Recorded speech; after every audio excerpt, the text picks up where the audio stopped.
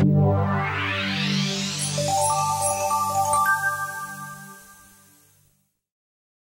I'm here to talk to you today about um, wireless security. Um, my, blog is wifikiwi.com and I'm also on Twitter as wifikiwi as well. So, what I'm going to concentrate today in this uh, presentation is, is really on security as a process. Uh, it's not something that you can, can statically define and say, hey, if I put these things in, I'm going to be good to go. It's really something that you've got to keep an eye on over time and look at different systems that you might actually need to put in place for wireless security and also be constantly keeping updated on what new threats are out there, who, what might, different ways people might be able to get into the, the network and uh, where those threats are coming from. And, and, basically just concentrate on the fact that, that security is about more than just implementing technologies, it's about processes and people as much as anything.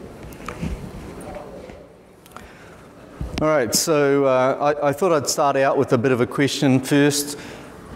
What in your uh, experience is, is where different threats are coming from? Have you been aware of any particular attacks? I mean, for me personally, I I've been following along with the target hack that came in recently that isn't specifically wireless related. But um, is, does anybody want to venture out there any particularly wireless related uh, threats that they've seen recently? Best Buy. Best Buy, that's a good one. Yeah, we've got TJ Maxx as well. That was a wireless related hack that came in through their uh, wireless terminals. Anyone else? Oh, okay. All right, and um, I'm not sure if you've all kept up on that there, there, are new threats coming into the WLAN networks. I'm sure, as you're aware of it, um, many years ago, WEP was the big thing that people were really worried about. How to secure WEP, what different technologies we can board in. We had WPA and WPA2 board in as part of that. So, um, but it's not just standing still, right? All, the people that are attacking networks and, and wireless networks in particular, they're looking at different threats that are coming into the network and actually finding different ways of, it, of attacking the networks when we um, set up defenses for it. Um, from, from my point of view, the networks largely themselves, the methodology that we have of setting up wireless networks has, has become something that's relatively secure. So the hackers are actually looking for different ways of actually getting into the networks. Um, and we're trying to protect a lot of different devices as well in bringing uh, the security into the network. And what is really at the core of what we're trying to protect is, is the data. And we really need to, to look at what different types of data we're, we're protecting within the network. Um, mobile devices uh, really, this is to me uh, classifying both tablets, phones, and, and laptops as all really being one class of device. Whatever device you have connecting to the network, you're wanting to look at security as a, a uniform thing from a very much higher level and concentrate on the security that you can put on those individual devices by the capabilities of that devices. Uh, Android a little bit more flexible about both being able to attack it and also being able to put different security things in place on those devices. iOS, much more locked down, but um, still vulnerable to attack if you do certain things like jailbreaking, for example. Uh, laptops, uh, the users could have much more control over their laptops. It could be their own personal laptop that they're bringing in. Um, much more open to attack. Um, but then there are much more systems developed in order to, to actually deal with the attacks that are coming into those devices. A new thing that's, that's really come up a lot lately, lately is uh, Bluetooth devices and the, the ways of, of attacking Bluetooth as well. What really scares me is these Bluetooth locks. I'm not sure if you're, you're, you're familiar with them. I mean, you've got a lock on your house that's opened by Bluetooth, and you've got somebody that's able to hack into your Bluetooth and unlock your house. Wow, that's really a different vector of attack, right? And uh, enterprise systems. So the, the end goal for, for attackers, as I'm sure we're all very aware of, is to, to actually get you into the, the data that's actually in those enterprise systems. So you're wanting to, make uh, multiple layers like an onion to be able to protect those systems depending on what type of data is, is actually on those devices. So um, there are very different avenues of attack nowadays as opposed to when we were looking at, say, 2000. Um, much more lockdown networks.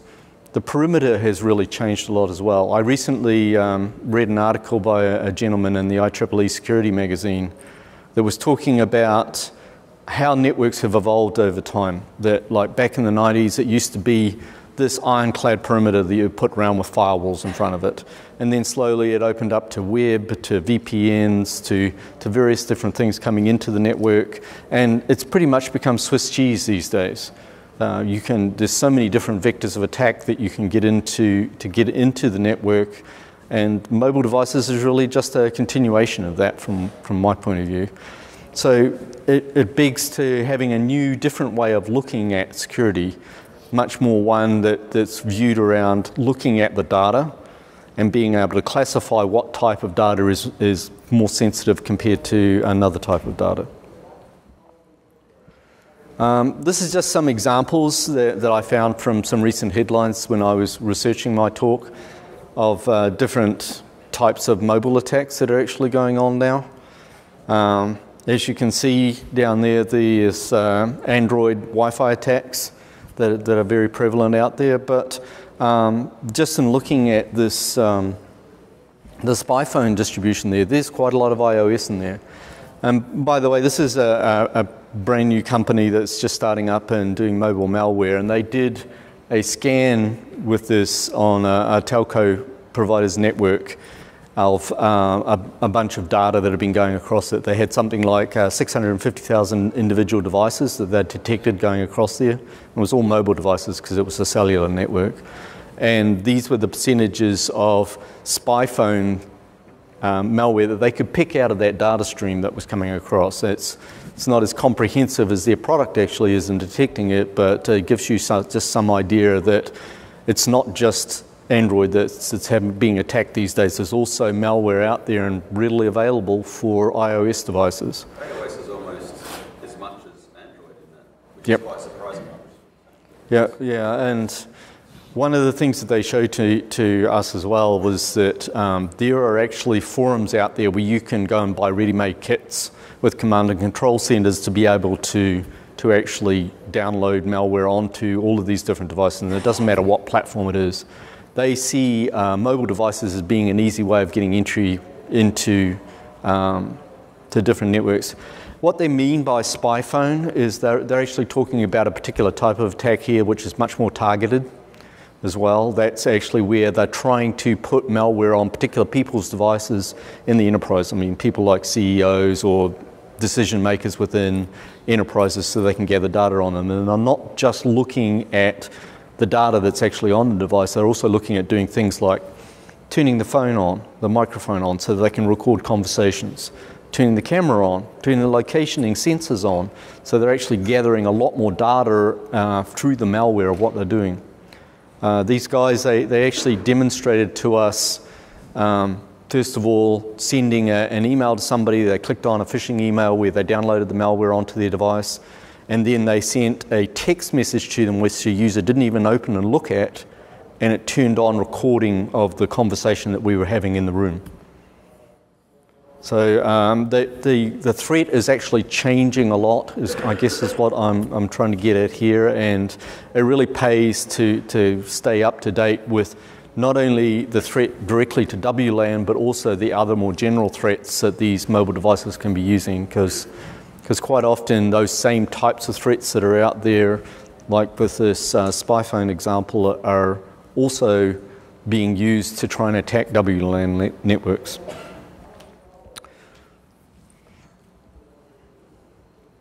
Um, now, I'm sure we've heard, all heard a lot about the uh, advanced persistent threat attacks, especially um, with some of the, the, the, recent news about um, the Chinese attacking us and various other things like that. But um, what's important to realize here is that these, these types of attacks are very, very different uh, in in one way, that they're, they're taking a lot more time and a lot more energy and a lot more targeted to get into the network, but also in another way, they're, they're using very similar attack vectors to what have been there in the past. And most of what they're trying to do is to, to say, okay, we know, we realize that, that most people are concerned with network security, are putting security devices on their network to try and capture what we're actually doing. And so we're going to concentrate on, on the, the easiest way of getting an entry point, which is often mobile devices, right? Because they know that they have less security on them than, say, a corporate laptop. And really, um, I think one of the key things that, that you want to look at nowadays is that the behavior of what people are actually doing on the network and being able to figure out what that behavior actually, how that behavior is different from, from what's gone before. So, like if Joe, who works in the help desk, is suddenly accessing the finance server and trying to download um, data from that on the financials of the company, that's really something that you know is unusual and you want to have some sort of flagging as to to whether that's actually going on. That could indicate the presence of malware on Joe's system. So, what can we define as best practice per se? I mean, to me, best practice is always going to be something that's going to be evolving. You're going to have a, a base set of, of configurations and, and, and um, encryption on the network that you've got set up to, to try and protect your network. You're looking at it from a, a, a much more higher holistic viewpoint for the whole network. And um, figuring out that that high level framework is going to give you a set of countermeasures that you can put in place in order to meet the threats that are um, going to be attacking your network.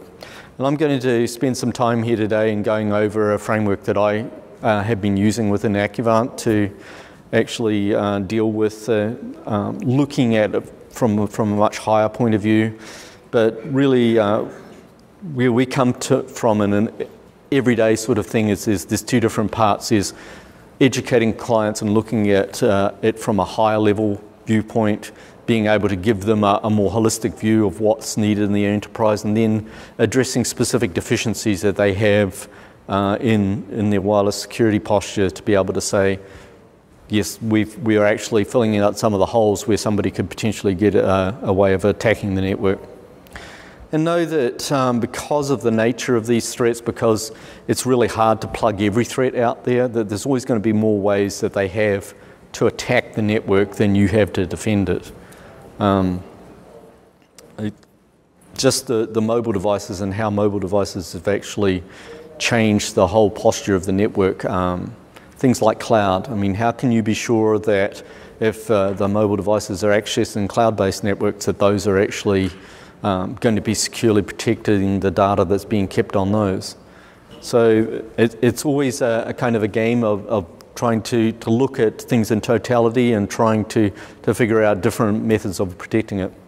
Myself personally, if I, th- I think about where uh, the mobile device industry is right now, we've got MDM. That's been a, a very common uh, thing that, that people have been putting in places.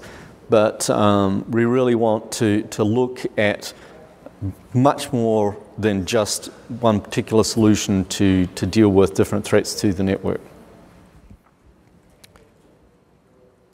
Oh, and uh, a last point I'd make, and, and this is because, um, particularly in, in Accuvant, we, we have a, a, set of guys who are very good at uh, finding different new ways to, to get into the network. Really, the only way same with doing a, a, site survey that you can know that you've got a secure perimeter in place, that you've got some really good level of security is to be constantly doing testing of that and finding people that, that know enough about how the threats are changing that they can develop new attacks to test your defenses. Um, and I, I, say to that to, to people all the time wanting to do site surveys too, how can you know that the wireless is working properly if you're not doing a site survey? That's the same in security. Uh, so, just to, to talk a little bit more uh, in, a, in, a, real world sense about uh, how an attacker actually gets into the network, I, I, wanted to make sure that I gave you something that was really up to date with the way Accuvant has actually been um, doing this on, the, on our penetration testing side of the house. So, I called and spoke to one of our senior assessors before I came here and said, hey, what's the methodology that you use? I want to be able to, to talk to um, you all and tell you what the, the, the methodology that our guys are actually using to do testing these days. And he said, well, the, the main part of what we actually do in Accuvant is we, we sit there and gather data on what's going on in the network, look at packet captures, fire up Kismet, um, use things like pineapples uh, have those set up so that they are actually recording what's going on in the network. And they, they spend quite a bit of time doing analysis of all the data that they're gathering, seeing if there's any chinks in the armor, basically. Um, one thing he said in particular, they look for four-way handshakes PSKs so that they can actually run um, scripts on that. And they, they fire up the GPU based uh, algorithms to actually test all of those PSKs. Um, it's been for, for quite a long time, but um, really uh, what we generally recommend in talking to people about P- using PSKs is you want to have something that's like at least 20 characters long and semi-random uh, numerals as well, which it makes it hard for the users to input, but really that's the only way of defeating the, the GPU-based cracking that they've got out there for those passwords. And um, he said to me that, that, what they're finding more and more these days, especially with enterprise networks, is they'll try and sit out there in the car park far enough away from the building that they can still get wireless signals but not be detected by the WIP system. Um, then they will uh, they'll sit there and they'll gather and analyze the data after a while. And the most common way that they're, they're getting into the networks these days is by leveraging things like uh, mobile phones and mobile devices. When they see them get out there, they'll set up an evil twin get the, um, the mobile device to connect to it, present a, an, a, certificate which that device will automatically accept, and then they're connecting and they're um, capturing the username and password that that user is actually sending to get on the network. And the, these um, APs that they set up on their laptops, they'll set them up to say yes to any SSID that's connected to them, so that when the, um, the user's phone is scanning through the different networks, it'll, it'll think it's connecting to the, um, to the actual corporate network and automatically start sending it the, the data to, for the assessor to gather. Um, and one of the things they often point out as well to, to their customers is to, to try and limit as far as possible how far the signal goes. Uh, I recently saw a report that they'd done for a uh, credit union that we were working with, and the credit union is just beside a freeway, and the signal was going all the way across to the other side of the freeway. They could basically sit in the car park on the other side of the freeway and, and see the signal from, from that credit union. So you really want to try, I, I know it's in terms of setting up wireless networks, you're trying to make sure that you've got really good coverage anyway, but you need to balance that also with the fact that somebody can be sitting a long way away from the actual building and be attacking the building um, just through using that connection.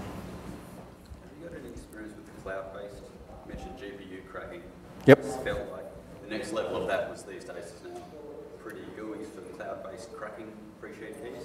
Have you got any experience I, with? I haven't actually used it myself, but um, my understanding is that, that basically just takes it up, up a level in terms of GPU power or CPU power that they can use to do that. Yep.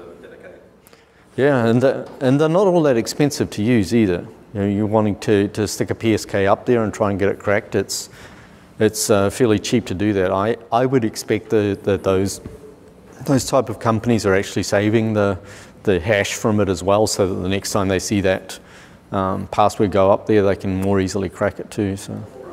Mm. So we mentioned targets. So in the case of Target, uh, where you've got vendors that are actually being attacked, mm-hmm. and then the vendor is seen as a friendly by the customer, it's kind of a loaded question. Right. Yeah, so what, what are some good defenses in that scenario? Well, so I think part of what PCI does, right, is uh, it looks at um, also who's connecting to your network and how they're connecting as well. Uh, we actually, as uh, a company that deals with security all the time for other uh, third parties, are often asked to have audits done of how our networks are, are doing and connecting to them too.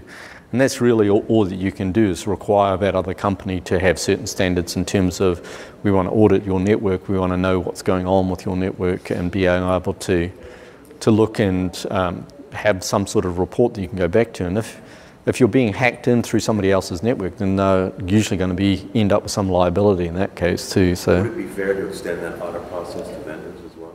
Yeah, they, and I think that that actually happens as part of the, the PCI standards is you're required to ask for audits to be done with third-party vendors that are uh, communicating with your network as well.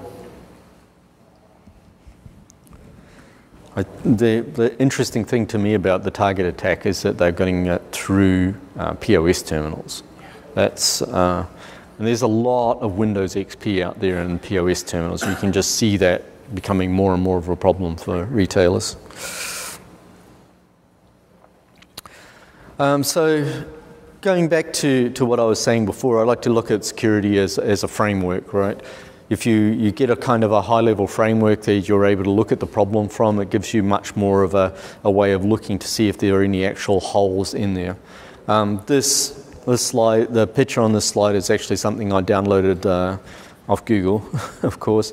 So it goes into a little bit more. But the, the framework that I've kind of developed in order to, to look at both WLAN and mobile device security is, uh, is basically looking first at the policies and processes that you have surrounding that, um, looking at the controls that you've got. To me, authentication is a core part of a security strategy, so you really want to have um, your authentication systems uh, so that they're using a, a really good um, level of, of being able to identify positively who the user and who the device actually is, and monitoring. People often uh, the companies that we work with forget about the monitoring part, and it's not just network monitoring.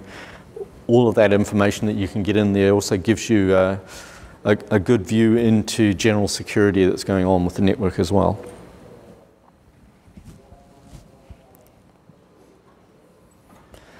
So digging into that a little bit deeper. Oh, that's a lot louder.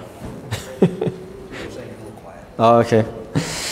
Um, digging into that a little bit deeper, uh, the security policies that you, that you have are really the foundation of your security program for the WLAN. And that's an extension of what the corporate security policies are that you have within your organization too. So you're really wanting to, to actually make sure that they're all in concert with each other, that they're not just individual policies written for specific use cases. Um, the, uh, the security policies, even when you're doing something uh, related to um, WLAN like PKI, but not directly uh, a part of the, the, the PKI network, is, is also something that you're wanting to tie back into the corporate security policies. And um, going back to, to what I was mentioning before about the perimeter being Swiss cheese now, I think the only way to really deal with that in a comprehensive way is by data classification and classifying the different types of business data you've got. So, of course, you'll put much more security around the financial data of your corporation than you would around their website. The website's public information, you may want to make sure the security is enough to prevent it from being defaced, but um, you really, you, the information that's actually on it, you want it to be kind of public anyway. And so, being able to classify even within a WLAN, the different types of data that's going across it, what uh, different user types you have on that is, is a way of being able to, to figure out what levels of security you need for, for different things in there. And I relate that back, the, the business data classification, to also um, classifying what the different use cases are for the WLAN. Um, guest is completely different use case to internal corporate users. And uh, you, are really wanting to have a completely different security posture for those two, two individuals. Um, Question. Yeah. So, so, specific to security, how important are products like ISE and ClearPass? I'm getting, I'll get to that. um, so, in, in terms of uh, the, the actual policies, you really, uh, half of the battle is, is actually educating your users. Um, I think one of the most common ways our assessors have of actually getting into networks is they use social engineering attacks. And the only way you can really bridge that, uh, that bridge, get across that bridge is, is by giving them uh, acceptable use policies for, for the activities that they're actually doing and giving them education in uh, what things they should be giving out and what things they should be asking questions of it. I remember several years ago I was doing a wireless site survey up in Boulder and um, I, I had to go around the whole building, do a survey of the whole building, and I'm wandering around with this laptop. And the only person that ever asked me what I was doing there happened to be the CEO's secretary. And I'm like, that's awesome. This, somebody is actually paying enough attention to what's going on that they're like, why are you walking around with a laptop?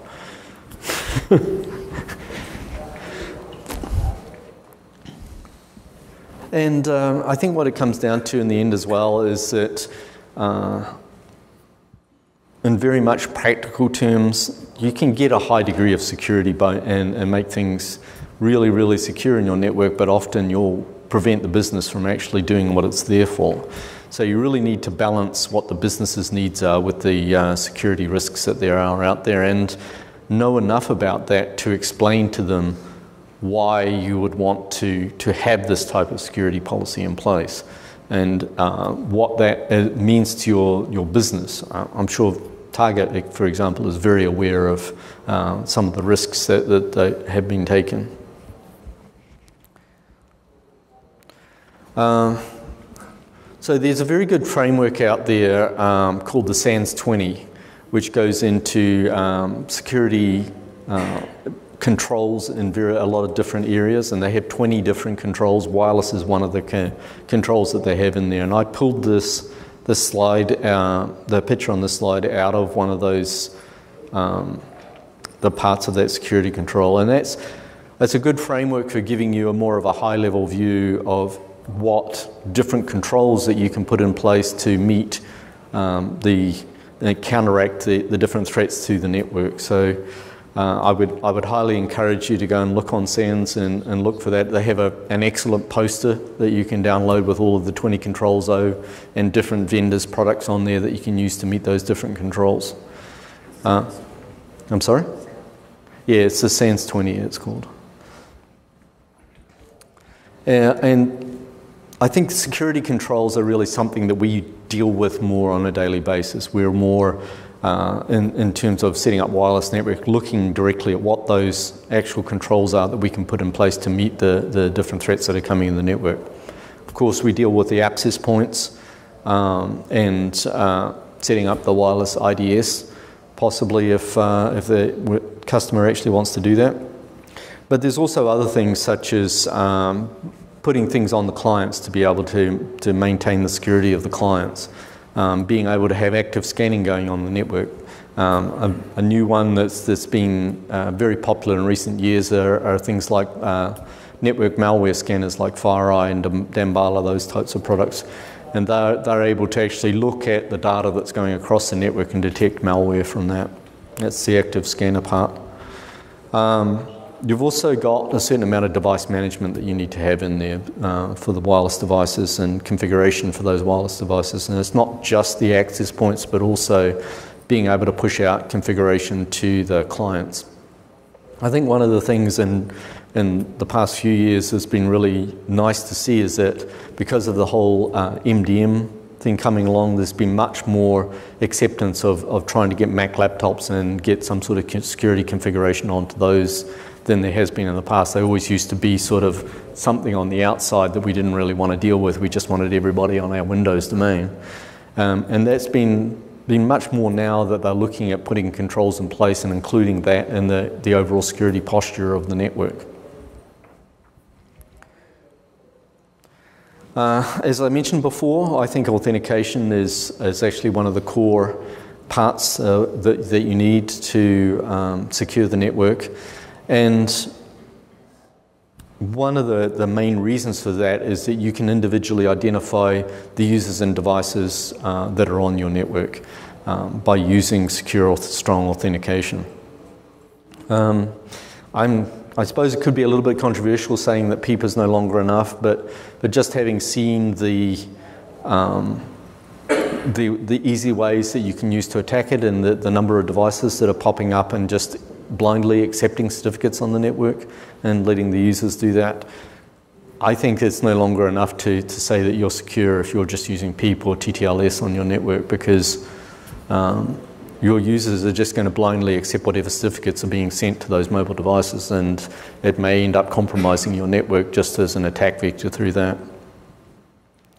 So uh, in a lot of the conversations that I've had with different companies where they've been talking about how to deal with the mobile devices on their network, it, I, I, suppose about a year, year and a half ago, the conversation was mostly like, well, I don't know where the devices are. How can I figure out whether, who's using mobile devices on my network? Because people would bring in their mobile device from home, just use their username and password, and immediately be on the wireless network. Um, and then, uh, so we, we started suggesting a, uh, a methodology of using Radius and PKI set up to being able to, and having a combination of a, um, something like ClearPass or ISE on the network and uh, an MDM server to be able to push um, certificates down to mobile devices uh, and being able to tie that back into an Active Directory infrastructure to positively identify those users and also get some separation in between their laptop versus their mobile device being on the network and uh, enforce different security postures based on that as well. I think that's really what that's mainly all about.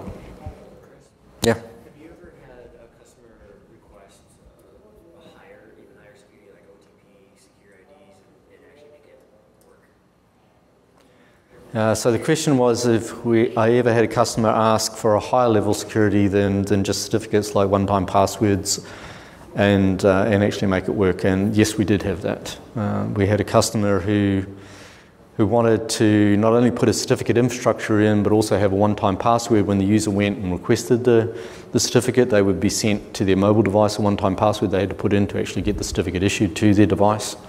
And we set up an entire framework with that, uh, along with SSL VPN connection where they would authenticate to. Um, also had uh, another customer who we set up certificate-based uh, authentication for their SSL VPN, and um, they wanted a, a two-step authentication, not only having the certificate be authentication, but once they had been authenticated with their certificate, also have to put in their Active Directory password. And we set that up so that it pulled their username out of the certificate because they used their email address as their username. And they, they wouldn't have an opportunity to actually put the username in. They had to put a password that matched the username that was on the certificate.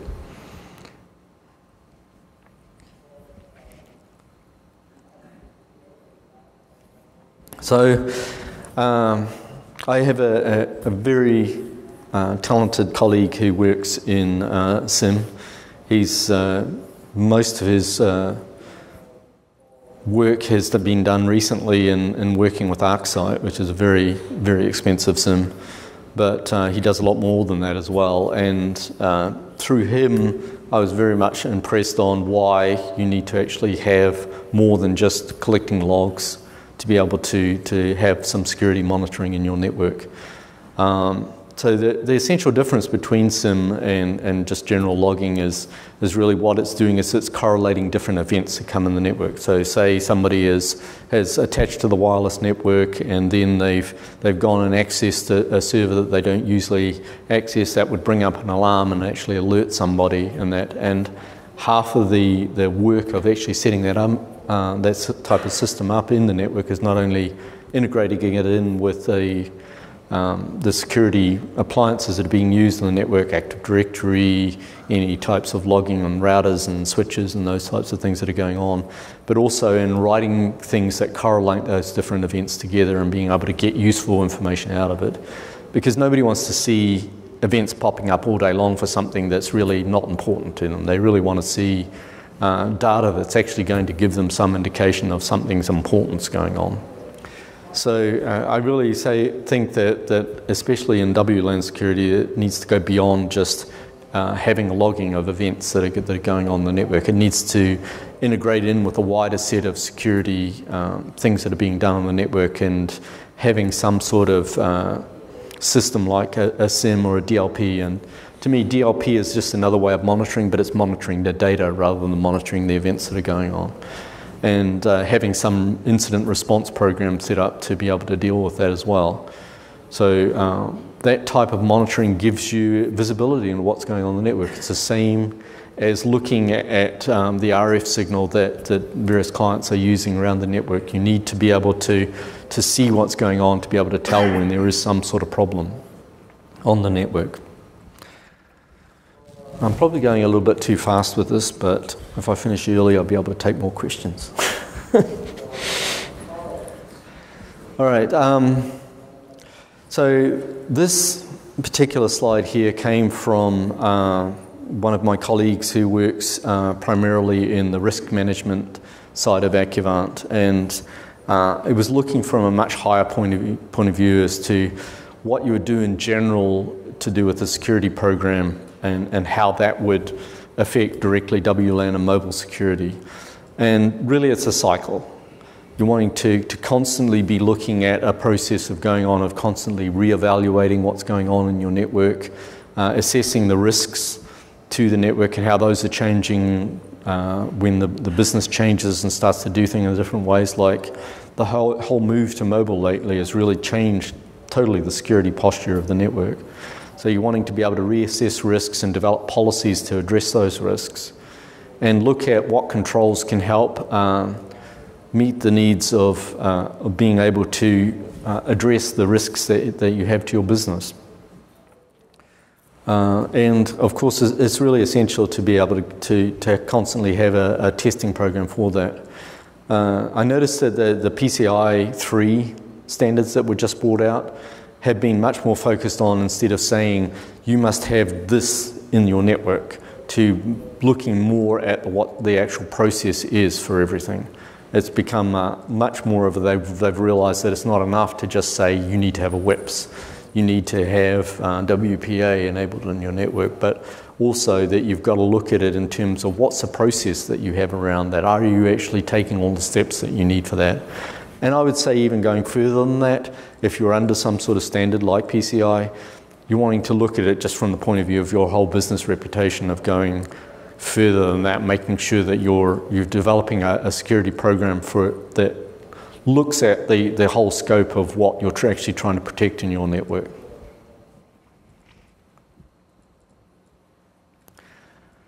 All right, so uh, as I'm emphasizing a little bit here, is really you don't want to, to, to get into a static posture of, of saying, oh, if I just go out and implement this radius server and do 802.1x, I'm, I'm fine, I'm good to go.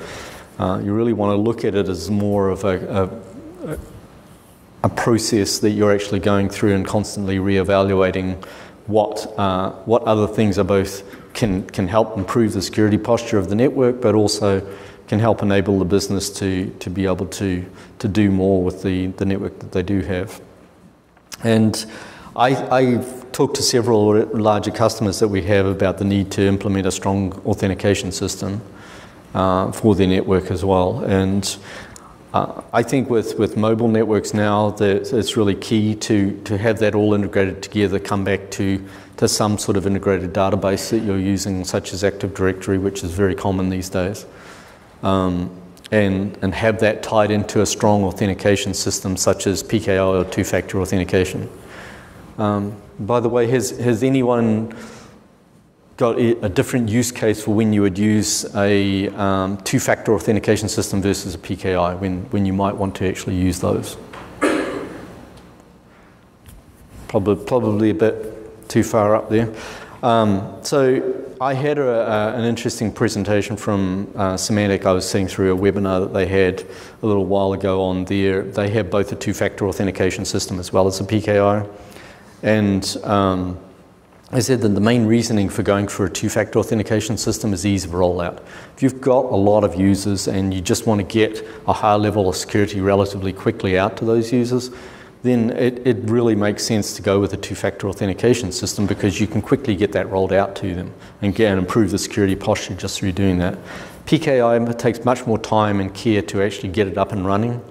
Um, the advantage of that is if you've got a lot more users to deal with, you've actually got a strong authentication system. Uh, after a while, two-factor authentication system becomes a really big load for the, um, the help desk and the various people that are maintaining it to actually keep up with all of the keys that go stale. Somebody's lost their password and needs a reset and things like that. Whereas PKI takes all of that issue away from you because it's just a certificate on the device. It's largely you can get an automated system for generating those certificates and renewing those certificates for users. Yes, Jay?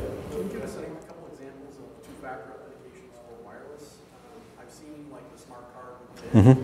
But uh, I'm not familiar with a lot of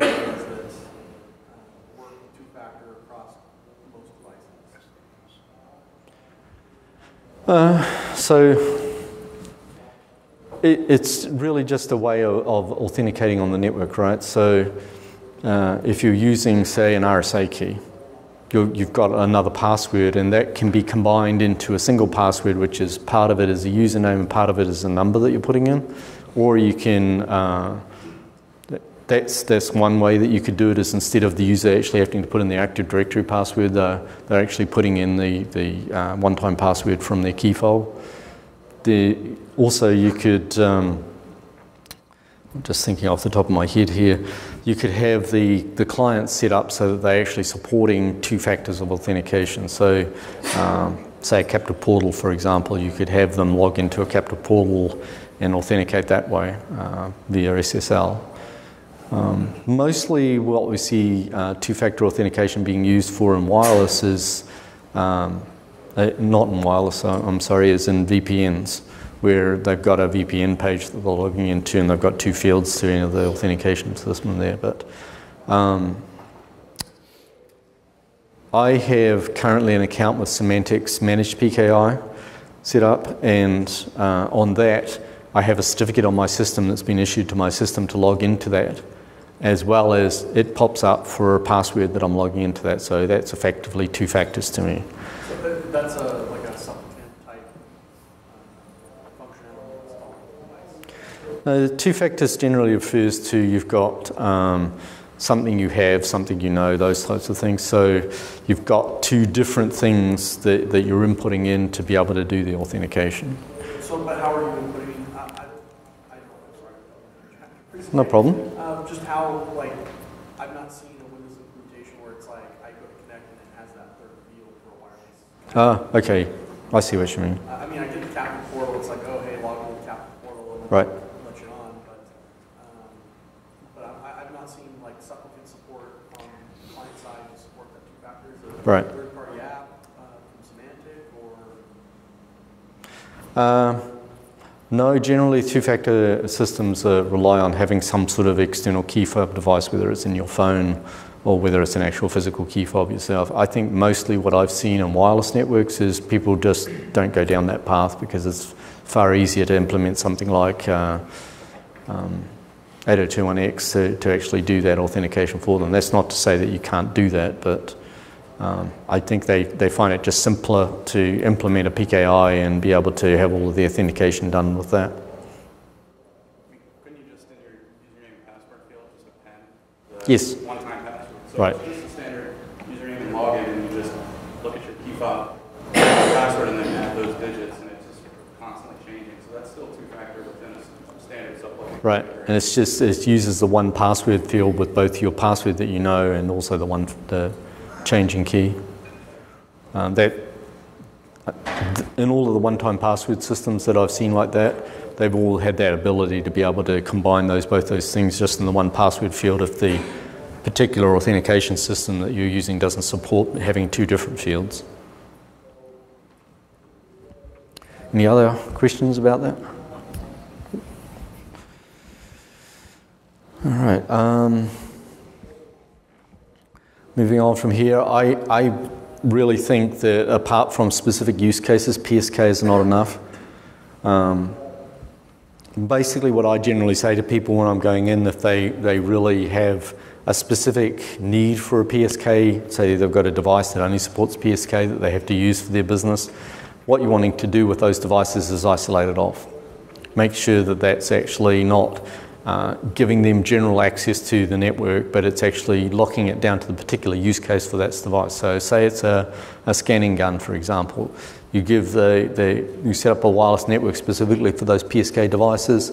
Make sure that the firewall that that's behind is set up in such a way that it can only access the server that it needs to upload the, the scanning data to, and um, basically have it locked down that way. Because, I mean, they may have a password on all those devices that, that prevents you from being able to access it now, but who's to say that they may not develop some new way in, in the near future that's able to easily guess a 20 character pa- random password? Um, what WPA Enterprise does, even just from not looking at the security, but is that it enables you to be able to individually identify things, and that's really what the, the biggest downside to the PSKs is that you've got. If you've got individual device authentication and somebody loses their phone, you're not locking the whole user out of their account just because they've lost their phone. You're able to actually say, say okay, I'm going to um, remove access for that phone from the network and being able to to actually individually identify those devices and, and uh, people on the network. I think uh, one of the biggest things that you run into is somebody leaves the com- company who's maybe in an important position. I'm sure you go into Active Directory and change your username and password, but um, you also may want to make sure that you're able to not only revoke their access to the network, but also make sure any um, systems that may not update so, so often are, are locking down their, their access. And um, I, I, wrote a somewhat controversial blog post a little while ago on, on WIPS, which uh, didn't win me any friends apparently. but, but uh, I, I, still believe that WIPS is really an essential part of the network. It's just that uh, I see it in, in future as becoming more and more something that, because it's relatively static, um, it relies a lot on signatures to, to be able to detect behavior in the network, that it's going to be more and more integrated into basic functionality of wireless LAN controllers. Um, something that's uh, like uh, I'm, I'm, personally work more with Aruba than anything else, and um, Aruba has integrated in the Palo Alto's detection in with their um, capabilities that they have in that. They've still got the WIPS module there, that's still out there to be able to detect attacks, but they're more and more integrating it in with the controller. And I really think that, that um, it, there are advantages, of course, to a dedicated WIP system, but uh, less and less that's becoming relevant, I believe. Uh, and, and, the other point to make about I, wired IPS systems, and uh, a lot of them are not detecting those zero day attacks and those um, APT type attacks because they don't have a signature for that. If you haven't seen it before, how can you detect that it's going to happen? So you, you need to have systems that rely much more on heuristics, on looking at behavior anomalies, and being able to figure out okay, this, this person is doing something that they've never been doing before, and uh, I don't believe that either wired or wireless IPS systems really have a, a strong ability to detect those types of attacks. Um, going back to what you were asking, John, um, I really think that, that the uh, advanced radius solutions like ISE and ClearPass are really pushing the, the um, up, upping the security of networks, and they're really something that should be considered and, uh, and integrating in with your wireless networks. It's not just that they provide things like onboarding for mobile devices. Um, like Abby's talk yesterday, I think she, she talked about that a lot and some of the advantages of integrating that in with the, wireless system, but, but also that gives you a finer grained level of control over access to the network by integrating that in. And to me, whenever I'm talking to, to one of my customers about um, setting up their wireless networks, I, I, say what you're really wanting to do is to, to make the radius system the central part of your network. It's, it's being able to gather information, it's being able to talk to the MDM server and, and verify that that mobile device is actually registered with that. It's able to actually separate out what that device is supposed to be doing based on um, the security posture of it um, and, and being able to give you much more ability to do that. Um, a, a, question that frequently comes up with people, uh, especially with uh, a large number of Macs in their environment, is how can we actually do machine-based authentication for the Macs? Well, as everybody knows, Macs do not do machine-based authentication. Um, so you have uh, the, the ability to put a certificate on it and have it automatically get on the network as it's booting up, and then have a login screen. But you've still got uh, only one certificate to authenticate it to the network. Well, the advanced uh, radius solutions give you the ability to be much more flexible in terms of how you're classifying those devices. So you can classify it based on what type of device it is. Uh, MacBook uh, versus a, an iOS device versus an Android device, and put different security pol- policies around that on those devices and being able to, to lock down what they're doing. Now, that takes a, a, whole lot more work to get those set up and get those running and integrated in with the other security devices in your network. But there's a big win there in terms of being able to, to identify much more really what's going on with the network. Chris, what do you think the holy Grail is, I mean, you've got all these different flavors of mm-hmm. security out there, right? And how do you get them to cooperate across all the devices in the network? When you're zero day, you know, DPI, I don't think there is a holy grail, to be honest. Uh, I, I think it's just uh, uh, it's more like playing whack-a-mole. You're, you're constantly trying to, to look at what new threats are coming in, whack that one, oh, there's another one popped up over there, whack that one, and trying to, to look on it from a high enough level of point of view that you're covering the major holes that you've got in the network and covering yourself as best you can. So how do you take those requirements and turn them into a business justification? Ah, that's where we go back to balancing the, the needs of the business with the risks. So um, by looking at it from and and our, our guys in the um, in the risk management side of the house deal with this quite regularly. Is they they're using frameworks, not strictly based on on the the legal requirements, but uh, higher level frameworks that look at the, the whole of the business and saying, well, if you've got a really small business over here, then you may not need to have all of these big security appliances in place that are going to cost you a whole bunch of money. But if you've got something that's really, really critical to you, to the core running of your business, you're going to pay more attention to protecting that versus um, just a public website. So um, it really does come, come down to having that, that type of conversation with it as considering the different risks to the business and letting the business owner balance those risks against the, the needs for him to actually run his business and what his business can actually afford. Any other questions? All right. Um, as I mentioned before, I think that monitoring is a very critical thing that's often left out. And um, that, that really needs to, to be addressed in a better way. Uh, I think that there are several solutions out there that can actually give you better monitoring visibility. And integrating it in with a SIEM or a DLP type system as well just gives you additional capabilities of being able to figure out what's going on. Uh, to me, in the whole management field, I've, I've deliberately stayed at arm's length away from MDM for a long time. Uh, we found most of the MDM vendors we, we, worked with tended to, to do installations themselves, so there wasn't really a huge need for us to get into that as a business.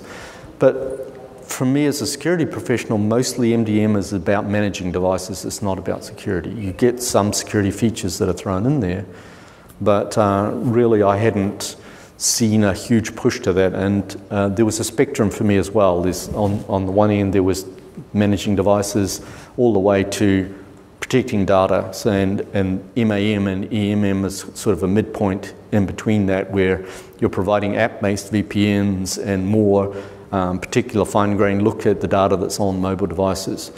Um, and also from that, now I'm starting to see the first wave of new mobile uh, security solutions coming out for mobile malware.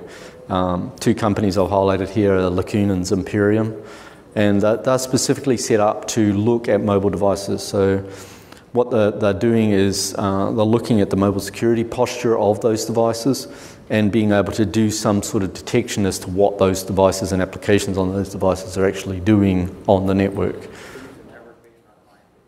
Um, they're actually in the cloud, and what the, so they're able to install their app onto the device, and it's their app being installed onto the device that gives them the visibility into what the different applications on that mobile device are doing. So no iOS. I'm sorry. So no iOS. Oh no, it's iOS based. Yeah, um, Zimperium I believe is just Android right now. Uh, Lacoon has both iOS and Android uh, support, and uh, also I think Mac OS. I'm not 100% certain of that. Um, I, have worked a lot with NAC, and um, I know that NAC is a, is a part of both ISE and ClearPass, but for, for me, the whole approach to NAC just kind of rubs me up the wrong way. It seems a very complex technology that's, that's sort of looking at every piece of hay in the haystack to try and find a needle, uh, which is, gets really, really difficult and complex to, to do on the network. I, I don't know that there's yet been a product that I've seen out there that really addresses that but uh, perhaps in being integrated more within the, um, the radius solutions is going to give a better visibility into the network. Uh, and as we're all probably aware by now, the client is really the biggest risk factor that you've got in the network, and you need to, to basically pay some attention to securing the clients. Uh, and I know that, that possibly most of the, the people who are bringing their own mobile device into the network is, are wanting to limit as much as possible the visibility into that, but that really is a policy decision for the business to be able to say, okay, if you want to use your mobile device here on our network, then this is what you've got to meet. Um, I, I know uh, I have met the, the guy who's the uh, CIO of Netflix, and uh, I, I like the way he addresses the whole issue and that he's saying, um, to me, it's not BYOD, it's UAD use any device. You can use any device that you want on my network as long as you've got a certificate on it and I know it's secure. And that provides you with a, a, a much wider set of tools that you can use to enable people to get their, um, their job done. Um, one thing to emphasize too is that containerization approaches can be beaten. Um, the, the Lacoon people actually demonstrated that for me and they had a good enterprise installed on the Android device, which supposedly separates off all the data. They installed a piece of malware on that Android device and they were capturing emails and messages that were being sent to good through that. So it, it can be gotten around and it's not the be all and end all of security on mobile devices.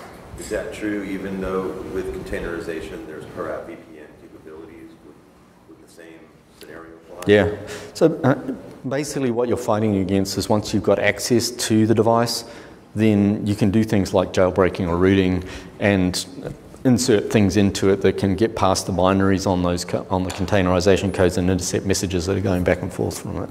And that's that's really going to be a limitation of that approach is that uh, you're going to always have that entry point if you've got access to the device. It's about lunchtime too, so if you want to wrap up. All right. That was my final slide. Any any final final questions? Thank you.